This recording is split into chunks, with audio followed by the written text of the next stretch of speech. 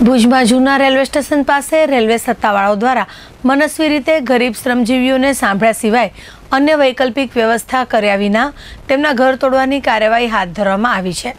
ત્યારે આજે કચ્છ જિલ્લા કોંગ્રેસ દ્વારા તેનો ઉગ્ર વિરોધ કરવામાં આવ્યો છે અને જિલ્લા કલેક્ટરને આવેદનપત્ર પાઠવવામાં આવેલ છે. ખાસ કરીને આ દબાણ હટાવ દ્વારા શ્રમજીવીઓને નુકસાન કરતા કાર્યવાહી કરવામાં આવી હોવાનું કોંગ્રેસના આગેવાનો પીસી ગઢવી, રાજેન્દ્રસિંહ જાડેજા ઘનીભા કુંભાર, કાસમ સમા, મુસ્તાક હિંગોરજા, રસિકબા જાડેજા સહિતના આગેવાનોએ જણાવ્યું હતું.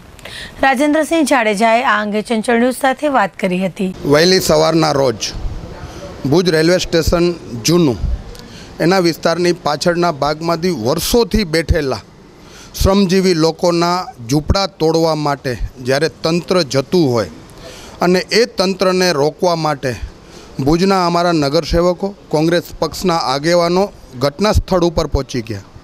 એમને એટલી ભલામણ કરી કે આવી કડકડતી ઠંડીની અંદર, આ શિયાળાની સિઝન છે અને શિયાળાની સિઝનની અંદર વૃદ્ધ લોકો છે નાના બાળકો છે કેટલાય પ્રેગ્નેન્ટ માતાઓ પણ છે અને આ બધાની વચ્ચે તમે જો આમના ઝૂંપડાઓ તોડી નાખશો, તો આ લોકો રહેવા ક્યાં જશે? નથી કોઈ નોટિસ આપી, નથી કોઈ દસ્તાવેજી પુરાવાથી કંઈ એમને કંઈક કહેવામાં આવ્યું કે તમે અહીંયાથી ખાલી કરી નાખો, સ્થળાંતર કરી નાખો. માત્ર સરકાર લોકોને, ગરીબ લોકોને ઘર વસાવાને બદલે ઘર તોડવાની જો આ પ્રક્રિયા કરતો હોય, તો આની અંદર કોંગ્રેસ પાર્ટીનો અમારો વિરોધ છે.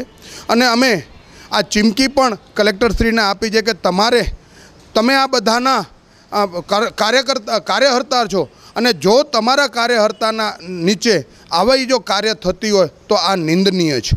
તમારે દબાણો દૂર કરવા હોય તમારે બધું કરવું હોય તો માસ્ટર પ્લાન તૈયાર કરવો જોઈએ. તમે નકશાઓ બનાવો કે શહેરને તમારે શું આપવું છે? આખા કચ્છની અંદરના દબાણો દૂર કરવા માટેનું છે. માત્ર ગરીબ લોકોના દબાણો દૂર કરવાથી કશું જ થવાનું નથી. ગરીબ લોકો આવી ઠંડીની અંદર ક્યાં જશે? કે જે તમે જઈને ત્યાં જુઓ તો ઝૂંપડામાં બેઠા છે. અને એ લોકોના ઝૂંપડા તોડી અને જો મહેલો બનાવવાના હોય તો આ સરકાર ગરીબોની સરકાર નથી, આ પૈસા પાત્રની સરકાર છે એ આપણે દેખાઈ શકે છે. અને આવી જ રીતે જો આગામી દિવસોમાં જો ક્યાંય પણ કોંગ્રેસ પક્ષ આમાં નિર્ણય કરી લીધો છે, અમારા પ્રમુખશ્રીએ પણ કહ્યું છે કે જો આવી રીતે આ બંધ નહીં થાય, તો કોંગ્રેસ પક્ષ આગામી દિવસોમાં પણ રજૂઆતો કરશે અને ત્યાં જઈ અને એમની લોકોને જે પડતી મુશ્કેલીઓ છે, એ લોકોની મુશ્કેલીઓમાં એમના સહભાગી થવા સ્થળ ઉપર પણ જવા માટે અમારા પ્રમુખશ્રીએ અમને કહ્યું પણ છે અને પ્રમુખશ્રી પોતે પણ આવવાના છે.